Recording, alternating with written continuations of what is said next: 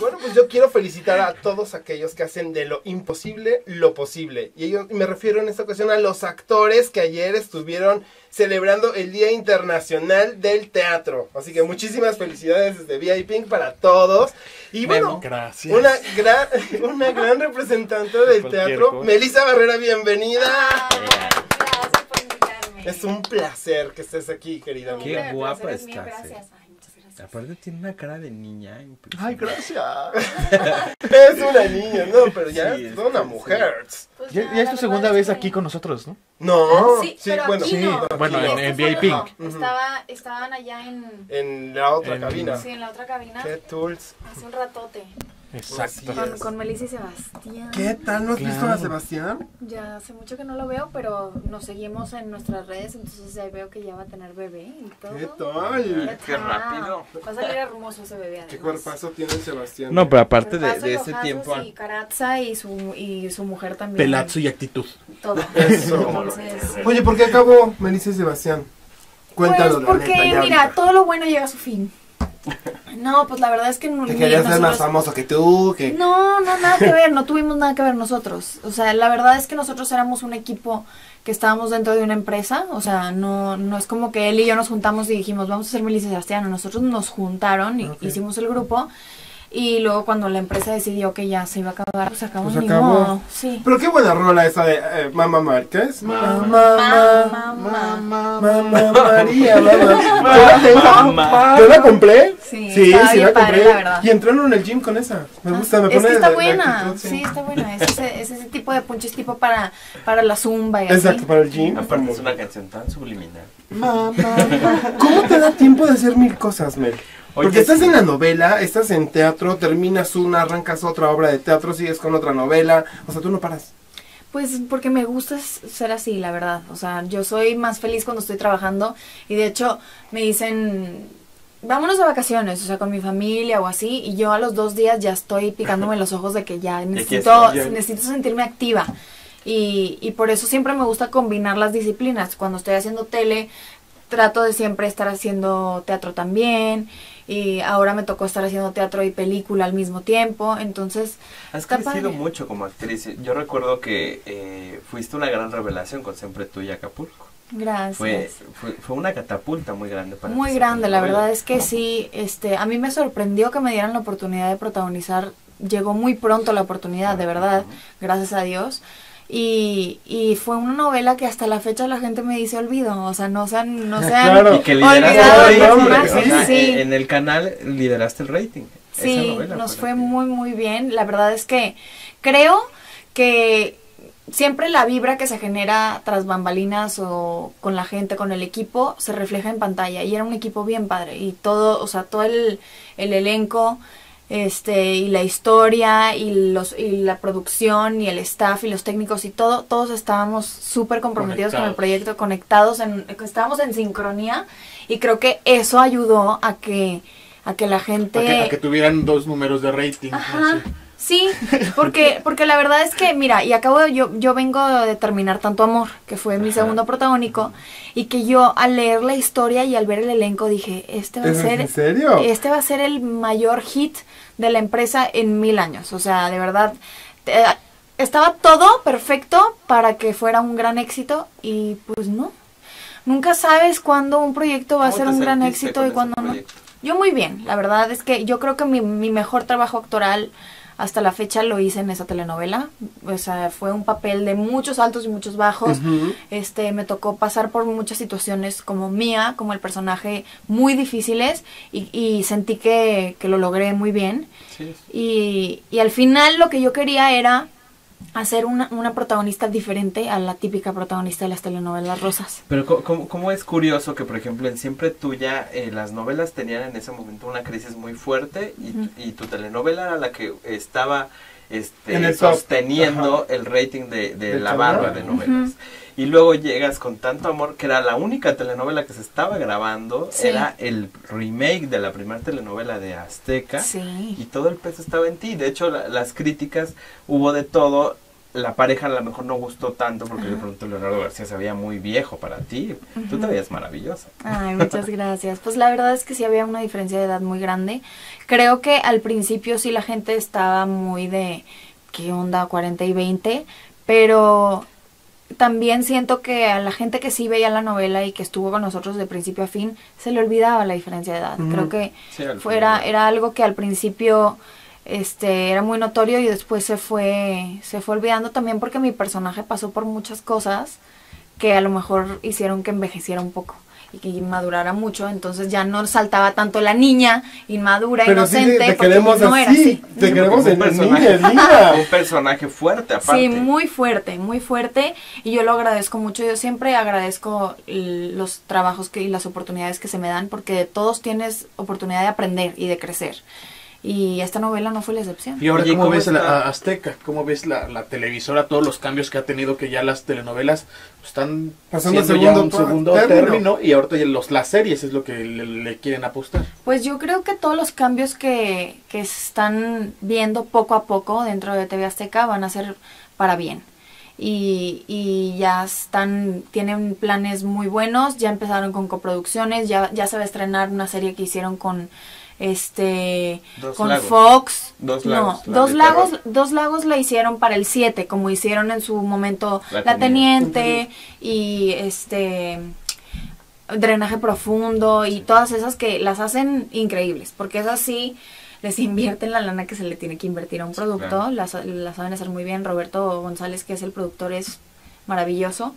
Este, y les gusta hacer buena, buenos productos de buena calidad. Entonces sí se va a estrenar ya pronto, pero imagínate, yo iba a estar en esa serie, no pude estar porque te empecé. ¿Te llevan para allá? Sí, empecé tanto amor al mismo tiempo, entonces no había manera. Pero este la grabaron al mismo tiempo que tanto amor. Sí, y la acaban. Y la acaban de terminar de editar Apenas. y luego la van a sacar, o sea, así se tienen que cuidar los Sí, productos. claro. Oye, ¿y cuál es tu situación ahorita en Azteca? ¿Vas, ¿Vas a retomar algo? ¿Sigues en Azteca? Eh, sí, sigo ahí. Este, la verdad es que yo a mí me han tratado muy bien, a mí me ha ido muy bien y yo soy de la idea de que pues hay que ser siempre muy Yo agradecidos. he visto que ahí han consentido a dos. En ese entonces era Silvia Navarro y ahora a ti. Yo creo que te están proyectando, prospectando para que vayas como en ese camino. Seas la, la Pues, es- máxima estrella. ¿Ahorita Pues, tienes ojalá. algo con Azteca? Ahorita no, ahorita no, este, porque pues por lo mismo que están habiendo muchos cambios y ahorita los proyectos que tienen son más bien coproducciones, no están produciendo Para ellos. solamente Sí, para la de ellos. Juan Gabriel, la de Juan Gabriel que ya se va a estrenar hasta, que, hasta ¿no? que te conocí, de hecho es la que yo decía. Este, y ahora viene creo Rosario Tijeras con Teleset, entonces están haciendo cosas padres, eh, se están arriesgando con los contenidos, ya antes era, no puedes mostrar ni un solo tatuaje, no puedes decir ni una mala palabra, que en realidad eso es lo que la gente le O quiere sea, la ver televisión ahora. está mutando, está Sí, cambiando. porque lo que queremos ver es lo más La- parecido la- a la, la realidad. Claro, que, y que se vea más natural. Por eso, por eso los, los, las plataformas de internet y todo eso están tomando muchísima fuerza porque es el contenido que nos están Pero dando. entonces tú tienes todavía contrato con Azteca. Sí, yo todavía estoy. ¿Y no se te ha acercado a alguien, a alguna otra televisora, haciéndote una propuesta? Pues este, como ni siquiera es opción, ¿para qué? O sea, O sea, no, no lo pensarías, no estaría como dentro. No, obviamente yo tengo planes a futuro de muy, o sea, como que me muy veo, concretos. sí, en, en otro lado definitivamente porque no, no me quiero quedar haciendo telenovelas toda mi vida. O sea, quiero... Pero te digo que eres O una sea, mujer que, que, ahorita ya estás que haciendo en cine. todos lados. Sí, ahora ya tuve, hice, en este año hice, bueno, en el año pasado, en el 2015, y terminé en, en enero del 2016, hice tres películas, Wow. pero ¿Con la, quién fueron estas? una fue con Salim Nayar, que es una, hice una, una participacióncita, un cameo de dos escenas, este, con una película que se llama Manual de Principiantes para ser presidente, que creo que ya va a salir. Ya está por salir. mero está por salir, sí, ya andan en festivales o no sé qué. Este, también hice una con Markovich que se llamó El Hotel, que esa no tengo idea cuándo Para vaya a cuándo se va a salir. estrenar. Sí. Este, y en esa mi participación era un poquito más grande, eran ocho escenas, así, Bueno, uno va vamos, empezando, uno va empezando. Y luego terminé el año con Sacúdete las penas, que es una, una película de época y de baile, Qué bonito. padrísima, y ahí sí me tocó papel importante. Ya, un ¿Con rol más es grande. película? Este, es una ópera prima de un director que se llama Andrés Ibáñez, que él también la escribió y la verdad es que es una película muy padre. De esas, tenemos mucha fe en el proyecto que va a ser de esas películas que, que salen una vez al año, que son de las que tienen un mensaje muy bonito y que visualmente además son... Y, y quedan, Muy quedan para un buen rato. Pero Sí. además de todo esto, llegas a Frankenstein.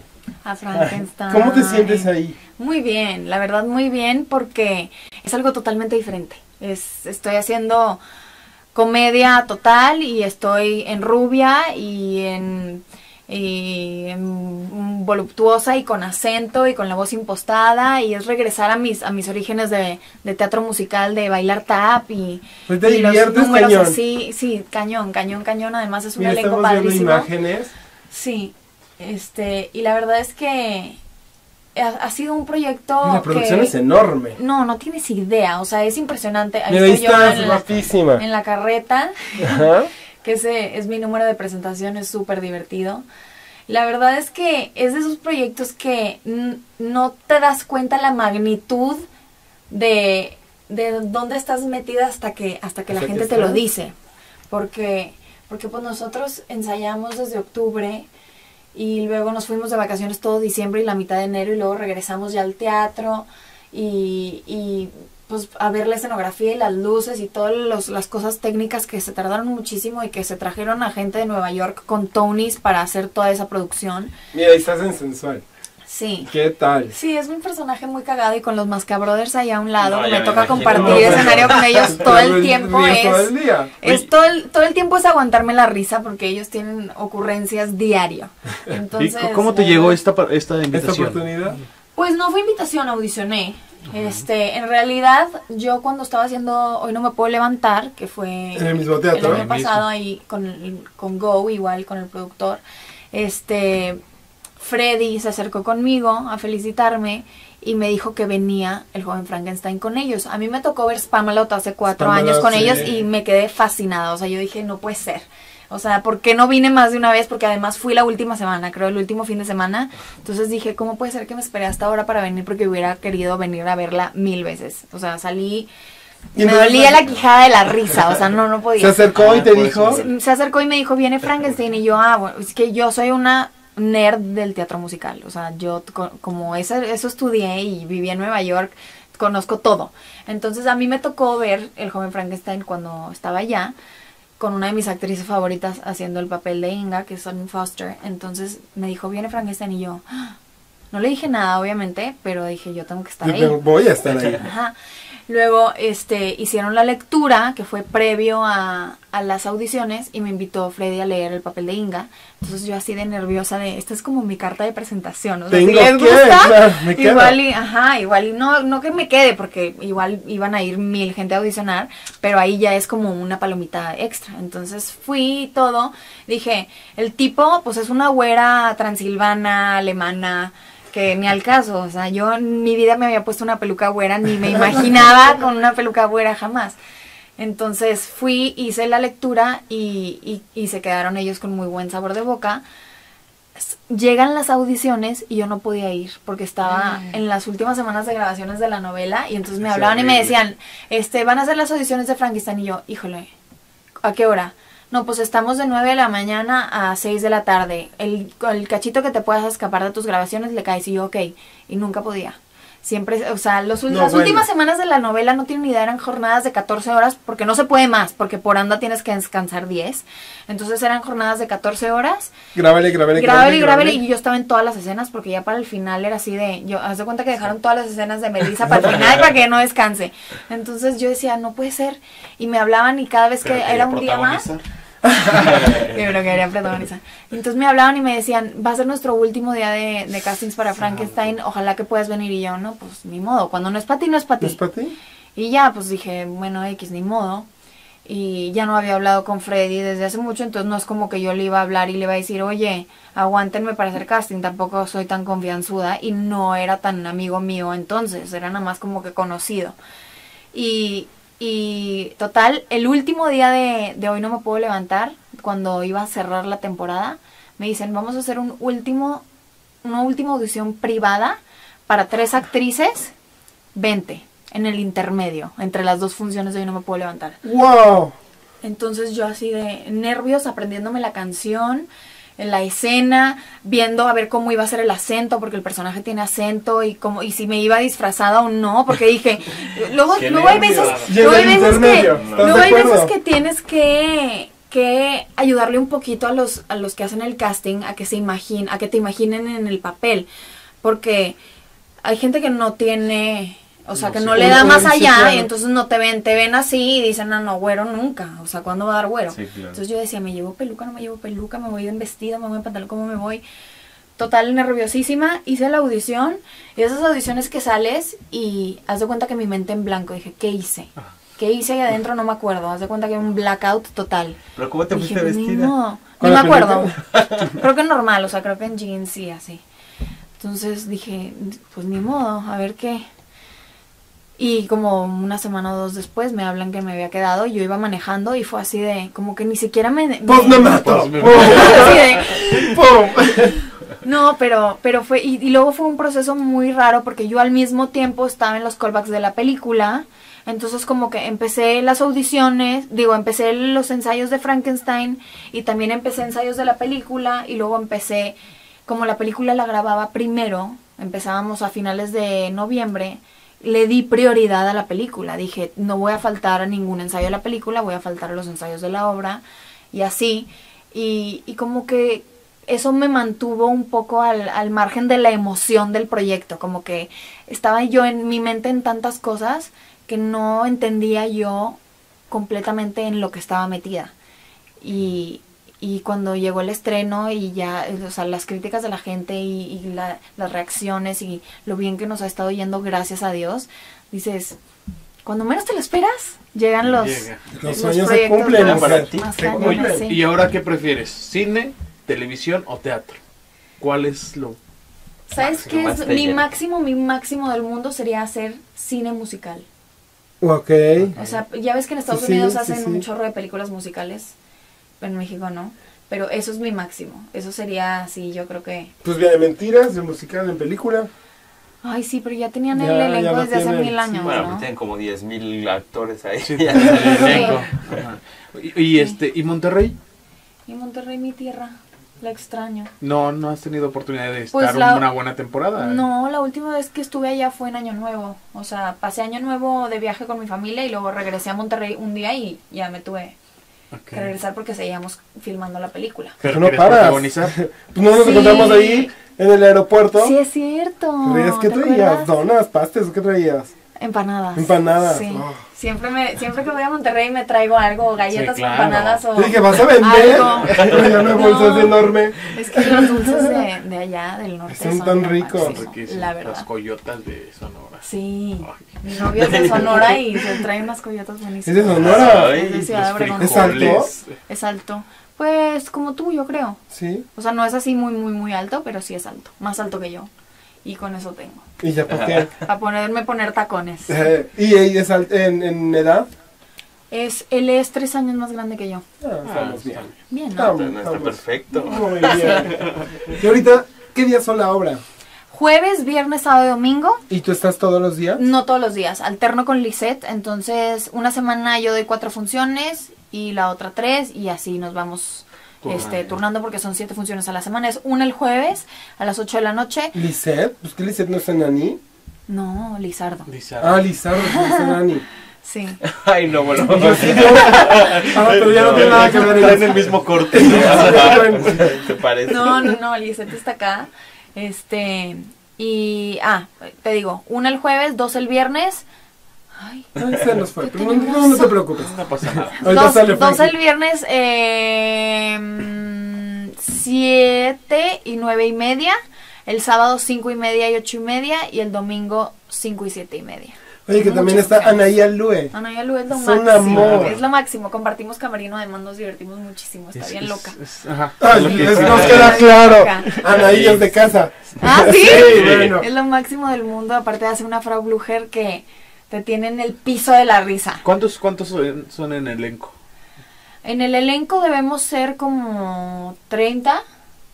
Guau, con qué- todo y swings y todo, en el ensamble, bailarines que son talentosísimos todos, ah, o sea, que la verdad es que aquí en México para encontrar un ensamble que bailen y que canten y se escuche bien, no está tan fácil. No y está, la- y todo lo que nosotros hacemos es en vivo y todos cantan y está y la verdad es que suena increíble y es un musical muy difícil de ¿Y cantar. cómo nos ha ido en taquilla? Muy bien, Está padrísimo. muy bien, esta última semana de Semana Santa estuvo, estuvimos a reventar, eso está Genial. buenísimo, sí.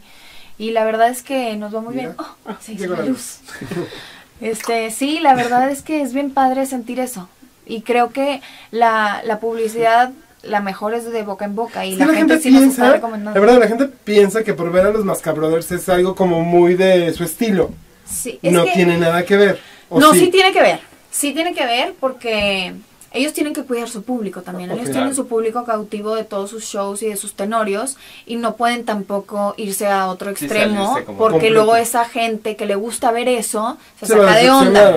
Pero lo que hicieron al adaptarlo y tropicalizarlo, está padre, ¿no? Está El padre. efecto. Sí. Este, es que hicieron un híbrido perfecto entre los tenorios y lo que es el show de Broadway. Entonces, la gente que le gusta ir a ver musicales musicales, le gusta, porque aparte tiene el humor mexicano 100%. Y Es la que es una gente que. Ajá, y la gente que va y le gusta ver los tenorios también tienen eso. Entonces, creo que lo hicieron muy bien. ¿Crees que los musicales aquí en México están, bueno, agarraron fuerza o están van para abajo? Pues mm, Antes no se veía, no se escuchaba mucho Sí, de que no. se hablara de musicales. Pero creo, creo que el año pasado hubo un récord de producciones musicales. Porque sí se está mejorado trabajando muchísimo. Fíjate, me, aparte, me- me- me porque, cuentas, eran- por ejemplo, que estuvieron con teatro lleno en musicales. Yo estuve en el Rey León apenas el miércoles y lleno. Y, por ejemplo, una que no le fue bien fue Rosa de dos Aromas. Duró un mes y para afuera. Sí, la de Cintia La de. Cintia Clitbo. Pero bueno, esa es... mm, y, apuesta- algo- y apuestas por una Cintia Clitbo. Sí, Y claro. no duró más que un mes. Es que ahora es a lo que eh, le da la pregunta, de que ya los musicales son tan grandes, son fastuosos. Pero ve y los la gente- costos. y, y la Memo, gente ya- un sí, costo de musical es muchísimo más caro que una obra sí, normal. normal, digámoslo así. Y, y esa pasó sin pena ni gloria. Y con dos grandes Esa y actrices. muchas. Y, y y los muchas musicales están llenos, lo cual está padre porque Está es un padrísimo. grupo enorme de producción. No sé cómo le está yendo a, a, perdón, a este, a López Tarso con la Chule. Picasso. Que es- que- Picasso, no sé cómo le Les está debe de estar yendo bien. Pues las ¿no dos, son, dos venden muy bien. Sí. Ahora, Annie, por ejemplo, eh, decían que sí hay como eh, algo está pasando con los musicales, que Annie ya se está cinco, te dan cinco boletos y pagas tres, o sea que ahí hay como Pero lo importante es que la gente vaya. sí, Sí, por eso. ya ni ya lleva un rato en Ya. cartelera también. ¿Cuándo Creo que estrenaron ustedes? nosotros estrenamos el 12 de febrero. Sí, apenas tenemos mes, casi dos meses. meses, menos de dos meses. Este, y también siento que hay, hay ciertos productores de teatro en México, como lo es Go, como lo es Ocesa, este, Jerry Quiroz, Juan Torres, que se están, ajá, que están, o sea, ellos tienen su nombre y como que medio que son garantía, ¿no? O sea, sabes que si vas a ver una producción de ellos es Es garantía. Vale tu boleto. nombre al vale final, tu boleto, pero están cre- están hay otros productores que están también entrando y, Y que están se están y apostándole y a lo mejor no hacen musicales de tan de tanta de Como tan Sasha grande Moreno, escala, con, pero con los de hacen. amor. Claro. Ajá. Eso está muy padre. Y también los actores ayudan mucho, por ejemplo, ya oyes Melissa, tal, los vas este, Identificando. vinculando con los Lo cual está muy musicales. padre, Mel. Porque ya te estás volviendo como un nuevo icono de la comedia musical. Muy bueno O sea, pues es que es la verdad, porque decir que estuviste en Hoy no me puedo levantar y ahora en la del joven Frankenstein. Y así vas a estar. Pues sí, pues la verdad es que es, el teatro es mi primer amor, entonces la verdad es que siempre trato de estar haciendo teatro. Esta es mi tercera obra en México. Hice primero Despertando en Primavera, cuando recién llegué. Luego hoy no me puedo levantar y ahora esta. Y, y me ha tocado mucha suerte, la verdad. Está padrísimo Está este efecto, chicos. Me encanta este tipo Oye, y, y entre compañeros, nunca, nunca tuviste, no te hicieron bullying. Eh, yo, yo también soy actor y Ajá. muchas veces cuando entras a, entras a tele y Ajá. eres de teatro te hacen bullying. Y cuando entras a teatro y eres de tele te hacen bullying. ¿No, no, no sufriste como... No, no, porque yo nunca me, me consideré de nada. O sea, yo estudié teatro, entonces en realidad siempre he sido como gente de teatro. De teatro. Es más, o sea, en la escuela era el grupito de teatro y yo era parte del grupito de teatro. O sea, siempre fui gente de teatro. Y luego aquí casualmente me di a conocer en un reality que nada que ver como cantante y luego empecé a hacer telenovelas, entonces decían, ah, esta niña era cantante, ah, mira, ahora también actúa, ah, Ah, ahora va a hacer teatro. O sea, pero la pues que en vende las realidad... quesadillas en la ah, esquina. sí, también, también cose. La de las o sea, empanadas del aeropuerto, la que las hace. Depende. Pero, pero sí, como que yo nunca me he encasillado a nada, ni dejo que me encasillen. Creo que empecé, desde que empecé a hacer cosas en, en el medio, Resaltaste. no, empecé a abrirme a hacer más de una cosa. No me encasillé en nada. Y creo que No, llevo aparte también... cuando eres buena, eh, lo que te decíamos, al final te conocimos por la academia. Y de pronto sales en la, en la novela, obviamente todo el mundo como protagonista, Sí. ella va saliendo, ni actrices, porque Ajá. la gente no sabe. Actrices, Claro, actrices claro. de Azteca estaban molestas. Claro, Entonces, claro. ¿Tienes sales, tiempo? Pues haces un buen nombres. trabajo, entonces ya te reconocen como actriz, o sea, decir, es actriz y ya no es sor- ya no sorprende decir que va a ser Sí. musical esto porque ya te ubican como actriz, Sí. Ya no como, ah, la protagonista bonita que, pues, ay. Pero además no traes, yo siento que tú no traes cargado el, el, el peso del el reality. Ya, tú ya, ya tienes un nombre. Tú ya eres Melissa. Pues Sí, la verdad, Melissa. la verdad esa siempre fue mi, mi tirada. O sea, no quería que me describieran como al principio como la ex académica. O sea, no quería que esa fuera mi... Tu eslogan. o sea, mi, mi etiqueta. Como muchos, como muchos. Toñita, la de la academia. Y sí, y la verdad es que no tiene nada de malo, porque somos muchos los que hemos salido de ahí, es, es una gran plataforma y ha salido mucho talento también, o sea, yo tengo muchos compañeros con los que sigo en contacto, que son las personas más talentosas que conozco, y todos tenemos eso en común, que está padre, es una escuela. Sí, al final es, vas a una escuela, Ajá. es una catapulta y Claro. ya depende de, Y de, Sí. cómo te te muevas. Y ahorita Sí, ya hay claro. un ex académico en cada casa. Hay tantos. Ya hay, ya hay suficientes para todos. Para todos. Pero tú ya, tú ya te, te separaste. Como A mí mándame al Jair. Está altote. Está alto, él sí es alto, Sí. muy alto. No sé. Fíjate. Oye, amor, te tengo un regalo. ¿Un regalo? Dos regalos. No. Sí, sí, sí. Fíjate que nuestros amigos de Body Grab, División Ajá. del Norte, Ajá. te quieren consentir. Entonces, te regalan ya sea un facial, un relajante o un corporal. Ya tú decides. Entonces aquí está. Gracias a nuestros amigos de, Gracias de Body. Grab que te quieren consentir. Aquí está. Muchas ya gracias. tú decides. Tenemos otro regalo. Otro. Otro. Nuestros amigos de Hard Candy te dan un pase para que vayas a entrenar ahí al, al gimnasio de Madonna, Ajá. allí en las lomas. Entonces, para cuando tú quieras ir, ahí tienes un Es un pase. gimnasio justo. Exacto, entonces pues ahí puedes ir a entrenar un día, hacer las rutinas que hace Madonna en baile o entrenar ahí un Igual y día. ella padrísimo. llega y te Igual y ayuda, llega, te Ella da- ella da spinning de encantaría. 8 a 9. Ah, ok, gracias. Zumba. me dices. Así más es. tarde. Los sábados a Los Zumba. sábados. Y ahí va nuestro regalo VIP. Ok. VIP, pero te queremos comprometer a que el día de mañana Ajá. hagas, eh, te sumes a este reto que muchos compañeros y amigos VIP que han venido aquí Ajá. lo hacen. Ok. Entonces, ¿tienes? ¿Dónde estás? Acá estás. Ah, tu taza de VIP. No lo puedo creer. Me encantan las tazas. Esa no es para que la tomes, es para que la tengas ahí de adorno y, Gracias. y la cuides y la tengas siempre. Siempre. Que mira, se nos ha estrellado, pero bueno, no te la pongo. Pero, este, bueno, es tu taza. Muchas gracias. Mañana te tomas una foto, Sí. una selfie, ya sabes, y nos la compartes. Claro que sí, por supuesto. Padrísimo. Ay, muchas gracias. No, pues Y que sigan los éxitos. Tú traído a todos a los de.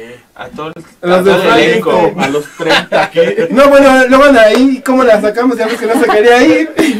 No, pero-. Ay, la de verdad los, los invito a que vayan al, Ah, al no. teatro a, a Aparte de vernos. verdad que, que te admiramos, eres una Ay, muy buena actriz gracias, muchas y gracias. es un gusto que te veamos aquí. Ay, no, gracias por invitarme. Yo encantada de venir hasta que se nos hizo, ¿verdad? Ah, Era Gracias justo y necesario. Pero los novela, invito a todos a que vengan al Teatro Aldama. Ahí está la cámara. A, a que vengan al Teatro Aldama a vernos al joven Frankenstein de jueves a domingo. Ahí estamos y es garantía de diversión y que se la van a pasar increíble. La pueden agarrar de, de pre el jueves, el viernes. Está muy el rico. sábado, después de la comidita el ¿Y domingo. tú estás? ¿Qué día? Esta semana ¿Esta semana? todavía no sé, Ah, pero bueno, en mi Twitter siempre pongo, generalmente los martes pongo los, las funciones que me ¿Cuál es tu. Twitter? Arroba Melisa Barrera M, Melisa con doble Ahí S. está. Ahí está. Ahí está. Ahí Sí, está. estamos en todo. En todo. Este, y ese también es mi Instagram y mi página de Facebook es Melisa Barrera y ahí siempre estoy poniendo cositas y las funciones que me tocan dar y los updates de lo que ando haciendo y casting. Está padrísimo. Oye, ¿ya viste la película de Batman y Superman? No la he visto. ¿Qué tenemos de Batman y ¿Qué Superman, tenemos? Carlitos? Pero vamos a un corte. vamos a un estaban- Vamos a un corte. Sí, nos Claro. estaban ¿Te esperas? Sí. Ok. Vamos a ver qué nos tiene Carlos preparado con Batman y Superman. Y regresamos. Alexandrie où l'amour danse avec la nuit. J'ai plus d'appétit